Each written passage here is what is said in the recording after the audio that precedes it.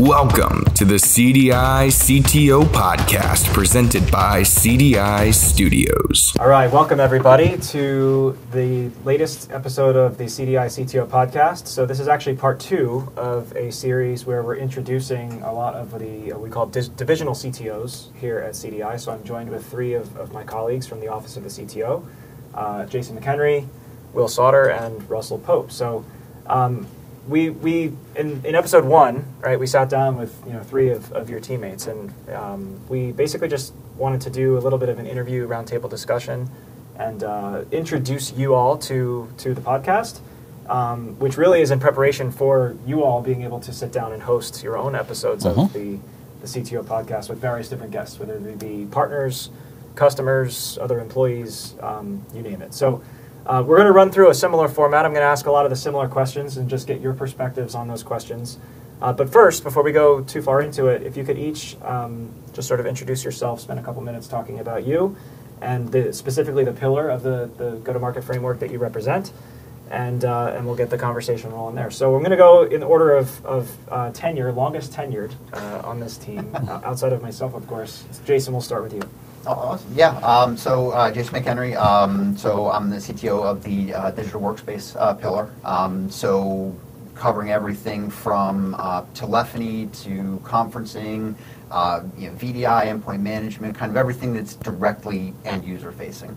Um, kind of our drive in, in, in that pillar right now is kind of uh, you know, creating a um, you know, an easy to approach, easy to use kind of work experience for you know the end users and kind of tying all that together into you know something that just flows and gets out of their way and lets them get their job done. Nice, nice, cool. It's an interesting time, right, for that. For that Certainly is that. More important than ever, right? Yeah. couple of years. Uh, we'll, we'll dig into that in a little bit. Will, why don't you go next? Yeah, uh, Will Sauter, Divisional CTO over hybrid cloud infrastructure. Uh, so w- everything within the four walls of the data center, plus public cloud, uh, storage, backup. You know, how do we do things the right way with regards to resiliency? Make sure we, we can come back from a disaster if we need to. Uh, networking infrastructure, software-defined networking, right? Cloud transit. Um, so yeah, that's uh, Awesome. so that's all. That's all, right? It's all the things that got us here, but you know, all this new fancy stuff will eventually come back The new down. versions of those The new things, versions, yes. right? It ebbs and flows. So I'll be important once again. What's old is new, and what's new is old. There go. Exactly. And to our newest member, uh, Russell Pope. Go ahead. So yeah, my name is Russell Pope. Uh, I'm CTO for our modern applications practice. That basically means that I look after everything around like developer experience, uh, containerizing your applications using tools like Kubernetes and sort of all the adjacent technologies there to make things work. Uh, I think uh, effective adoption of, of, of public cloud and building those cloud native applications uh, falls into uh, my purview as well.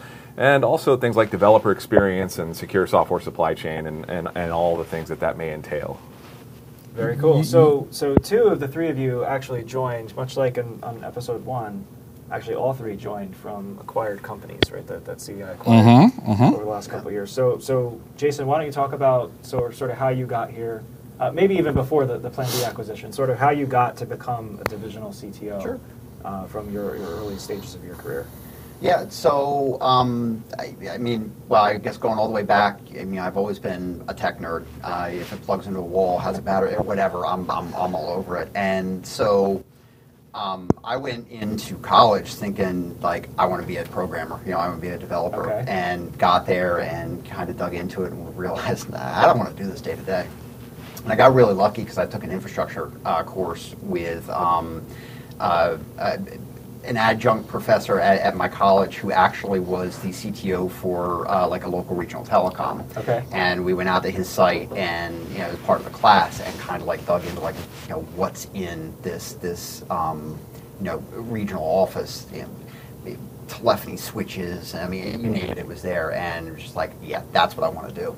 And so, kind of dug into it from there, and you know, spent a lot of time, you know, becoming, you know, a generalist. Um, I was a, uh, you know, a, a, an administrator and engineer at, you know, J.P. Morgan Chase, and then a law firm, and you know, some others.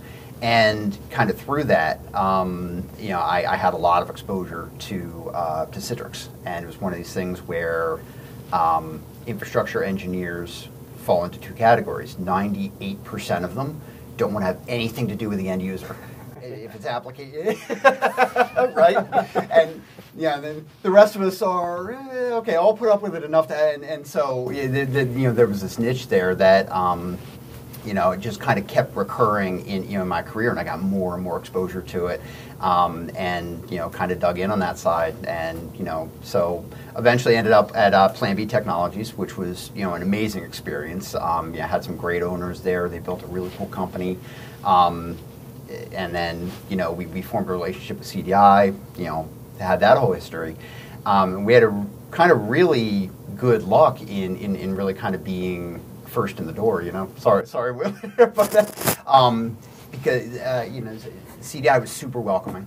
Um, it, uh, I've been through acquisitions, uh, well, primarily in the financial space, and they were always knife fights. And you know, CDI Yeah. like this this was completely different. It was this, all right, well, how do we combine all of this in a really effective way and like make it actually work? You know, we want to keep all these talented resources we have. We want to find a home for everybody and kind of you know kind of make it work. And you know, so the companies came together, found a way to you know really tap kind of the you know the talent pools, and you know it's been really cool to watch that kind of continue through the subsequent acquisitions. So, so you mentioned the acquisition. Um, what is the biggest thing you learned going through that process, and what might be something that you would give somebody, um, some advice that you might give them, whether they're going like going through an acquisition? Because it sounds like you've experienced good and, and bad. Sure. Right. So, I mean, it, it, it, it depends on the acquisition, but um, I mean, to, to a degree, the chips are going to fall where they do. Um, but where it is in your control, you know, keep an open mind. Look for the opportunities. There's always an opportunity in, in, in those coming together to, to differentiate and, and, and provide something that the combined organization needs. Um, it's really easy to fall into kind of a negative, you know, doom and gloom mindset. Sure. And, you know, if you can avoid that, the opportunities are generally going to be there. Stay positive. Yeah. love it. Will, why don't you tell us your story from the beginning? Oh boy. Hope we have enough uh, tape or memory or whatever that is. Uh, so I guess uh, you know I was tied to computers from a very young age. Uh, my father was a DEC engineer. We lived on a remote island in Lake Michigan, and he flew his own plane, telecommuted, right? Uh, and he was gone all week, and I was at home. And the only way I could keep in touch with him at, during the time was DEC mail. So I'd get in the VAX and do my thing, and he'd log, it, he'd dial in and do do do do, right, modem in, and he'd write back to me. And uh, so I was like, I think my first email was first grade, so we're going back to like 87, 87. A couple of modem and Yeah, oh yeah, yep. Uh, so it was an island, and everyone was long distance, and he brought 56K frame relay over. I was the uh, on-site administrator at the school, so I was tapped on the shoulder in fifth grade.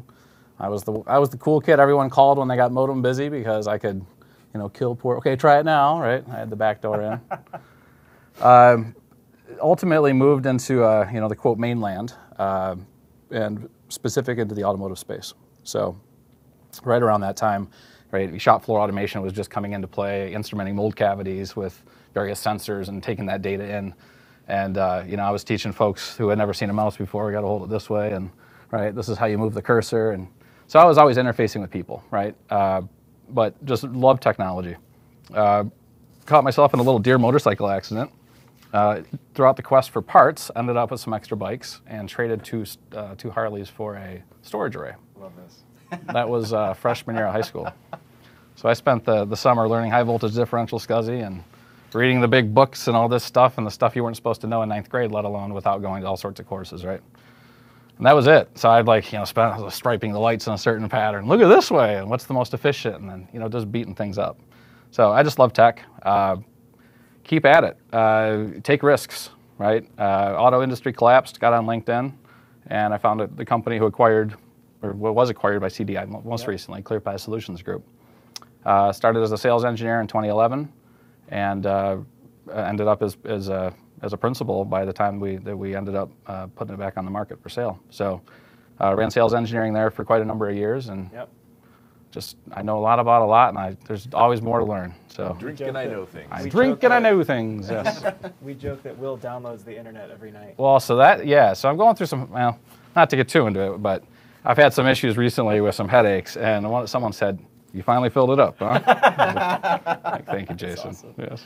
That is funny. So- Russell, how about you? Your, your, your path to CDI is different than, Yeah, than the it- others. you so- know, my, my, my path uh, probably began with a night out with beer and you.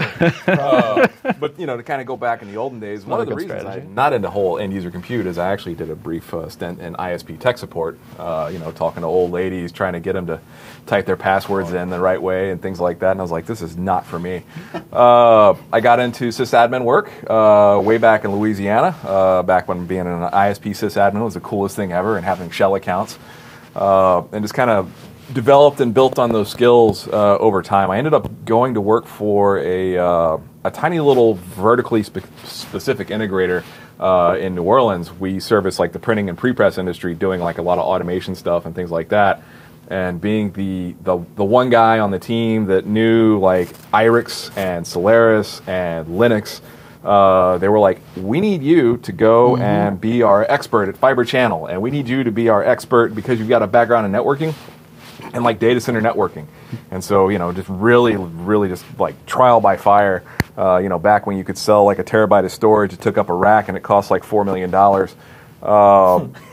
You know, and then I discovered the wonderful world of VMware. Uh, you know, this was back in 2004, 2005. Uh, you know, vMotion was the coolest thing ever.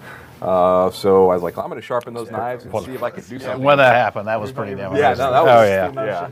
yeah. And I remember demoing it to Yeah. my boss, and I was like, "Check this out!" And I would play. A, I'd create a Windows server, and I had a, a, a QuickTime movie I was playing off, streaming off of a, a CIF share on it. Yep. And I moved it from another server, uh, one server to the other, and it didn't skip a beat. Didn't and he's like, "Holy moly, that's the coolest thing I've ever seen." Uh, so I developed some of those skills back in the ESXi 2.5 days, and then I was like, I'm going to try something different. I'm going to go to Silicon Valley and be the best darn VMware guy I can possibly be. And I figured if I can make it out there, I'm, I'm, I'm good to go. Uh, have yet to move back in with mom, so happy about that. uh, so I went out there and started a career in consulting, uh, working with customers on like you know adopting virtualization and then gradually moving into like things like automation and automation technology. Always dragging my my, my networking background in there with me. Uh, I felt like that was a, a major asset, so I was always able to kind of straddle and have these conversations with the storage people because I understood their concerns, and the network people because I got their concerns, and then eventually the app devs and those folks because I was doing like a lot of automation work for them and, and, and solving problems there. Uh, eventually, uh, you know, started running uh, teams of, of, of folks, kind of like developing practices from the ground up. Uh, you know, built an OpenStack practice uh, from the ground up, a config management practice. You know, we, we all have our missteps in life. I actually spent most of my career in doing OpenStack, convincing people not to do OpenStack because I would always ask the customer, "Why do you want to go to OpenStack?" And their answer was always something about cutting the spend with particular vendors and OEMs. And I'm like, that's not a good reason to do that. Uh, and like, here's why people are adopting it and how they're successful at it. Uh, and so, really, kind of learning to get in front of problems before they became uh, major issues. Um, and then, you know, uh, started going to uh, VMware Partner Advisory Boards where uh, I met Mr. Will Huber. where we met. Uh, you know, this was probably like eight years ago or so, and uh, you know, I was the chatty guy in the in the thing that was had no fear uh, asking questions. You have of, no, you have no fear. so, some of these product uh, managers and things like that. Uh, I was always very constructive in my questions and feedback, but I was like, I was not holding back uh, just because I, I was like, I'm, you know, Russell was always the guy that would ask the question we, we all wanted to ask. yeah. But The room none gasps really like, wanted to ask. I had it written down. I just don't Well, want they Yeah. asked, but they all lean Yeah, forward to hear the yeah, answer. yeah. Yeah. Yeah, pretty much. Uh, and so Will and I had always kept in touch. You know, whenever we'd go and overlap uh, into various like you know training events and things like that, we would always go out for beers. Uh, you know, we've probably spent four or five nights at Trillium. Uh, don't don't know that any of us remember them, but uh, th- th- th- those were uh, those those were good times. And then uh, I reached out to Will at the beginning of the year, and I was like, hey, you know what? Uh, I'm looking for something cool to do. Uh, you know, can we figure out something? And uh, Will's like, yeah, let's figure something out. And here I am, and I'm happy to be go. here. We're happy you're here too. All right, so uh, I want to talk about um, you're all obviously very deep into your careers, right? You've been in IT and technology for a long time. Did you just call us old? I, I don't know. It- It's, it's just going to go another shade of golden, my friend. At least you have it. Yes, that's true. it. That's true. We have tells. So I asked this question to a lot of people who are, you know, further into their careers. Like, if you were giving a young person advice who was looking to get into our field today, um, what might you tell them? Where would you sort of, enc- what, what, what advice would you give them? Would you advise that they go down like a specific path, like a I talk. To software development or security? I tell my son this all the time. Security. Right. So what do you? Yeah. So so the analogy I would use, and I'm not a big RPG game player, but you know, you, you wouldn't pick the you wouldn't pick the character who had a level 10 in this right with no gold or stone. Or, I know I'm just making stuff up. I don't know this You've stuff. never played Dungeons and Dragons. Yeah, I never have actually. Um, but but you know you're looking for a well-rounded individual, right? You want to know what the what the effect is of, a, of something over here, right? It- you know, just because you're a mile deep in Python, if you have no TCP background and no networking 101, and you don't understand virtual, you have to know it all. You have to know enough about it. Maybe specialize in something, right? But don't don't only just know this and rely on everyone else around you to tell you the right thing, right? I think we're, we're like right now, if you're coming out of college and you've got a cybersecurity background, I mean, you can almost write your own, you know, check. Um, and I don't think that trend's going to change anytime soon. It kind of plays into It's a gold it's a gold It rush is, though. it, it, well, it is, but I mean, Yeah. and, and you do need that. You, you gotta need stand that above. generalist background. You know, you can't be effective in the security context without knowing. Sure. Well, you can. There's plenty of threat hunters out. Sorry to you know, no. but you know, there's plenty of threat hunters out there that'll just look at logs and look for an indicator, right? But if you don't, you know, as you're unwinding that uh, that that hay bale, right? If you don't know how this is talked into this, and there's a service account over here, and that's oh hey, if I look at that, you know, at the logged in users, that's going to tell me from this API maybe where the backup server is, right? There's a lot of there's a lot of interconnection, and if if all you're doing is looking for something that's anomalous. You know, I think that I don't think that's quite as effective as understanding the whole Yeah. Enchilada, right? I- I would I would say, and I think a lot of folks fall into this trap, uh, especially coming up early. You know, they're like, "Oh, I'm going to be a best darn network engineer, the best darn security engineer, or whatever." And where your career starts, and you know where the sun starts to set on your career, are not necessarily going to be the same place. You know, if you if you go and you learn how to uh, you know design and build cars, uh, because that's your passion. You know, you're, you're, you're always going to be designing and building cars. You might have some new tech and things like that, but fundamentally, a car is a car is a car. Uh, you know, when I look at like my own my own progression, uh, just the evolution of technology. You know, like things like frame relay and ISDN have kind of gone away. You know, we've gone from like uh, you know uh, hubs to switches. Uh, you know, we, we were doing like layer two everywhere because that was the fast way to do anything. Now you can't buy a switch on the market without it doing line rated layer three. I mean, there's a Linksys on the shelf that uh, can probably do that at this point, right? Uh, so you should always be evolving and looking ahead and, and learning new things. Never stop learning and developing your skill sets because, you know, like say, I, I thought I was going to be like an ISP sysadmin from, you know, now until the heat death of the universe.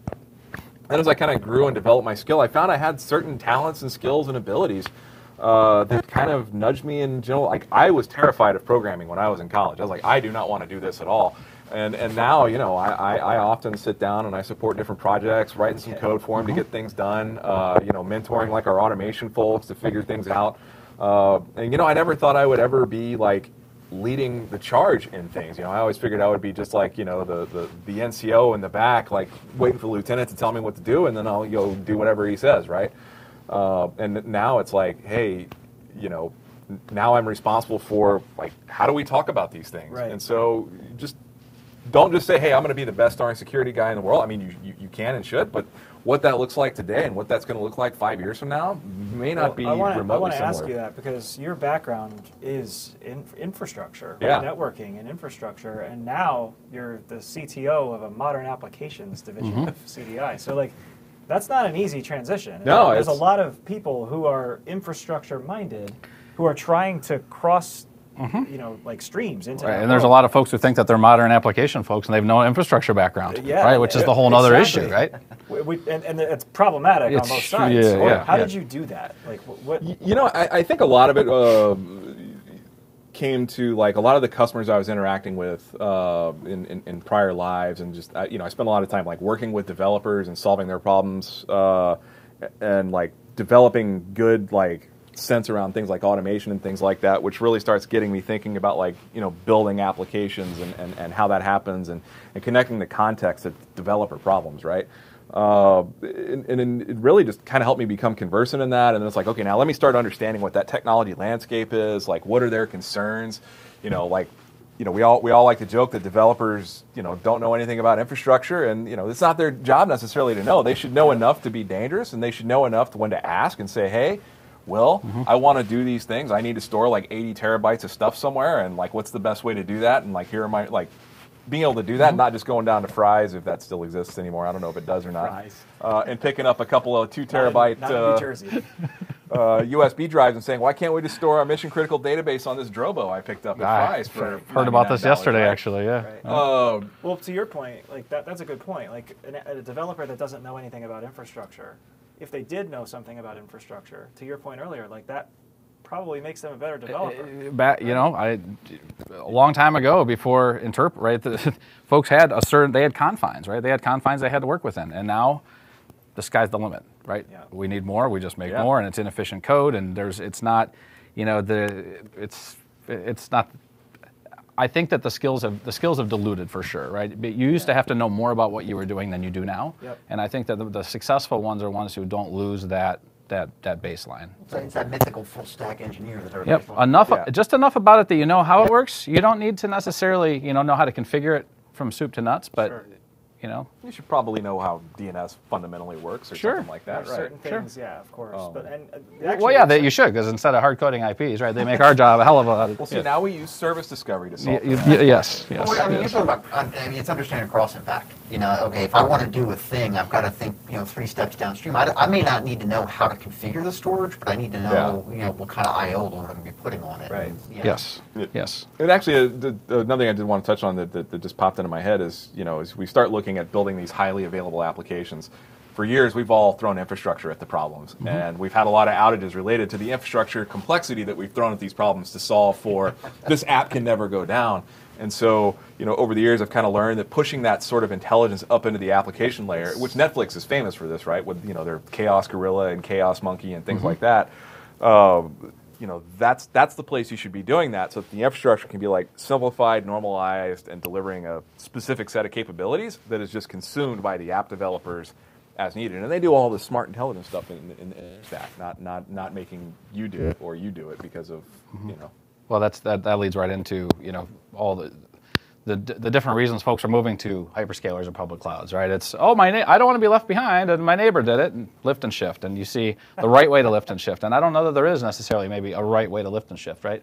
The the, the more the, the more you remove, the, the more you lose the ability to provide infrastructure crutches, the more you have to focus on proper architecture, and if you're not doing that, you're going to set yourself up for failure. Yeah, that's the thing. Lift and shift is generally not the right way to go No, to cloud, right? no. You want to take a cloud native approach.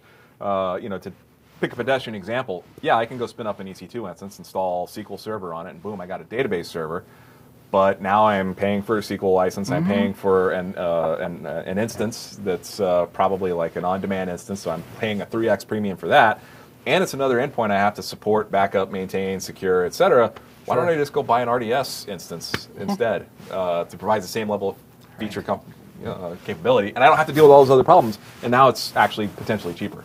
Well, honestly, that's the cool thing about your space because, you know, okay, well, we, had- we we pushed all these services out to public cloud, and everybody said, well, that's awesome, but it's expensive. So I want to be able to consume all of that in the private cloud. Every, Great, that's an awesome idea. How the hell do we do that? And so, like, th- that's Yeah. been the answer is, is you know, the you know, DevOps, the modern, you know, modern app space, like, we're actually seeing that realized now, and like, that's, that's been that, you know, that vehicle. I mean, yeah, we're starting to see stuff like, you know, Azure Stack HCI and the public cloud vendors pushing that, you know, back into the data center, but it's all proprietary. Yeah. I think so. But I think one of the secret sauces to cloud isn't necessarily the fact that I can go and get a VM or a, even a database as a service, but the interfaces and APIs that they present that allow me to consume that stuff as, as, as, as like application code potentially and driving that infrastructure as code sort of uh, approach. Cool. Uh, you guys all do a lot of things for CDI, right? You spend a lot of time with customers. You work on strategy. You work on messaging. What What is it that you like most about being a divisional CTO at CDI?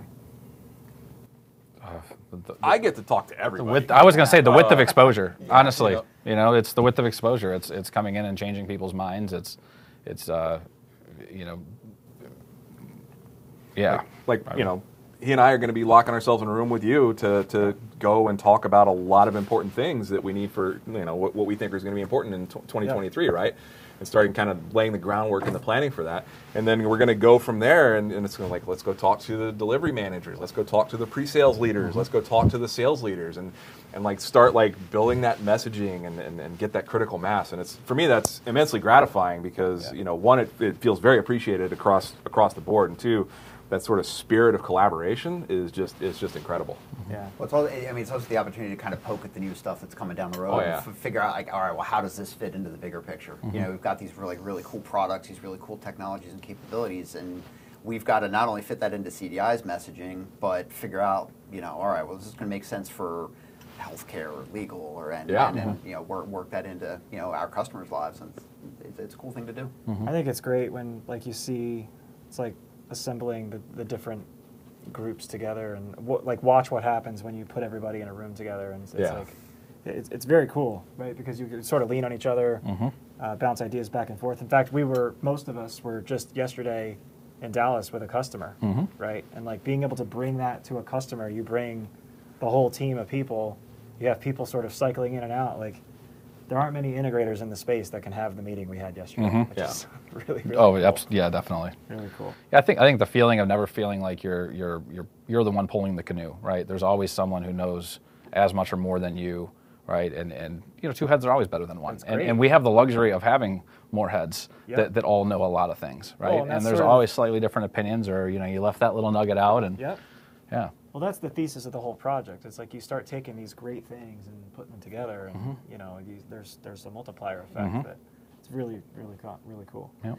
Um, any last words? Anything you want anybody to know about you? I'm dying for you to tell the cat story. Can you please tell the Oh, cat story? jeez. uh, that's awesome. I was gonna say yeah, this is the su- the super short version. So um, ba- ba- back gonna when be It, so it certainly can't be in real time because we'd be here for a long time. or, uh, no, so uh, back when I worked for, uh, worked for J.P. Morgan, I lived in Delaware. Um, had a roommate, had a cat. Um, went away to actually I think it was a Microsoft conference, and um, uh, while I was gone, my roommate was a musician. He was going to a gig. Uh, he went to leave, arms loaded up. Cat got out, couldn't catch him. So we we, I mean, we spent months looking for this cat, um, and you know signs and everything. So you know, fast forward to about what was it, six months ago now. well, Um, and- wait, wait, so how, how long ago was that though? You said J.P. Morgan, but let's put a, a time frame to that. so, uh, 16 years. Okay, 16, okay, Yeah, yeah. 16 years Woo, ago. yeah. 16 years ago, cat Yeah, ran away. I'm trying to do the math to come up with the year. Was like Okay. 2004 somewhere. Okay. Yeah. 16 years. Yeah. Okay. So, so, so, you know, about- six months ago, I'm, I'm actually on the phone with one of our other uh, SAs, and um, I get a, you know, my phone's blowing up, you know, on, on, on my desk, and I kind of bat it off to the side. Finally, I get a text message, and I'm like, what in, you know, is going on? I pick it up, and I read it out loud, and you know, the, the, uh, th- this this SA is like a huge animal person, and so I, I read him the text message. I'm like, and it basically says, you know, your cat has been found. Call like this vet or whatever. and, I'm, and he's like, what are you talking? Like, so he asked me, you know, he's, he's like, well, did you have a cat? I'm like, well, I did, but like, we're talking like 15 years ago, man. Like, there's no like, they must have recycled the number or something like that. what a cat. Right. So turns out what happened is basically they found this cat. Chips had Y2K problems. Yeah. So, so, so, so some, somebody found this cat. Um, it had had an accident. It had an injured leg, uh, and so they brought it into the vet, thinking it was going to need to be put down. And the vet scanned for a microchip, and ding, you know, Jason McKenry. So, so they call me. It's amazing. Yeah. So, so we go. We pick the cat up. Sure enough, you know. How's sick- the cat doing? Uh, wait, uh, you want the honest answer to that? Maybe not. you don't let him by the door. no, no, no. So, so he was incredibly old. He passed away about a month ago. Oh, but- I'm sorry. No, he had he, he had a be great, old enough We to got to edit this point. out now. No, he had a, he had a great five months. I mean, no, don't don't get me wrong. It, it was awesome. Like I mean, we kind of got to spend you know spend that time with him. But you, know, you laugh about going for the door. So he was hurt when you know when we got him. Um, kind of got you know healed up a little bit. Got got mobile again, and sure enough, as soon as he could get around, anytime that door opened, he was you know heading right for it. I'm like, dude. 16 years That you is spent on such the a street. You've story. got a warm, like, but yeah. And Wow. that- The call It's like on the news and everything. Oh yeah, yeah. Yeah, you were famous. Stories about CBS this. News. That's how I yeah, found yeah. out. Yeah, about that's, it. that's incredible. Well, I, I thought you were joking, but it turned out to be totally true. Well, no. So, so the yeah, the worst True is I, news. I wake up to a Teams message one morning from Chris Black, and it's like, That's why right, that- is it was Jason Chris. McKenry on my TV with a picture of this? That's right. That's how we all found out. It was an amazing story. So, Oh my gosh. Well, I, we embarrassed Jason. Yeah, I'm, so, I'm sorry. I'm tell, sorry. tell us something about you that uh, that nobody knows. Oh man. This is a getting to know you podcast. that nobody knows. That somebody might not know about. Um, Yeah.